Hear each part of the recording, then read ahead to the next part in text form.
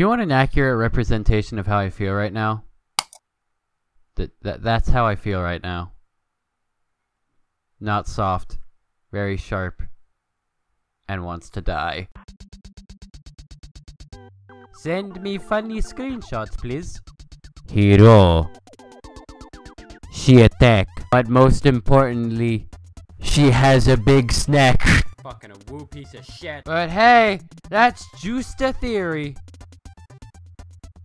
This joke isn't funny. Hello! Now that's just gay. What the terrifying fuck is that? The logistics of this is terrible. That pun was also very terrible. I have a very tiny mouth, which means I can't suck a lot of dick. yeah, man. Now that's gay! Ah, kill me. I do actually like his videos. Also, I accidentally sent it twice. At 12:10 a.m. I was sad, leave me alone. You know, sometimes I see this more often than not, and it pisses me the fuck off!